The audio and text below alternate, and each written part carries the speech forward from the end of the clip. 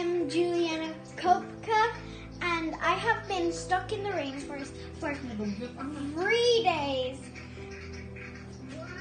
It all happened in a plane crash, and I was the only one that survived. I'm only wearing a summer dress, and my dress is soaked wet. Have one bag of sweets to eat. And maggots were under my skin a few days ago. I hope somebody sees this.